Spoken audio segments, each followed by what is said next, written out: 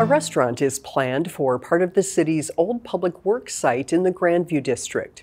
Earlier this month, the City Council granted preliminary site plan approval for Jester Concepts to build a 13,500 square foot restaurant with an outdoor dining area, outdoor bar, and pizza oven at 5146 Eden Avenue.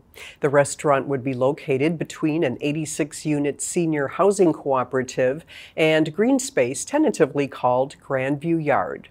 The restaurant would include public restrooms accessible to people in the green space.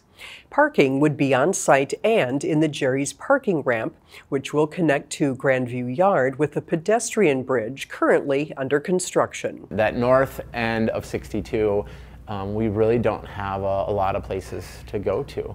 And I think creating a family driven restaurant with opportunities for a date night or a night out with friends, as well as being able to throw a birthday there. Uh, I think really encompassing everything that a family could do in a restaurant is what we're going to try and achieve there.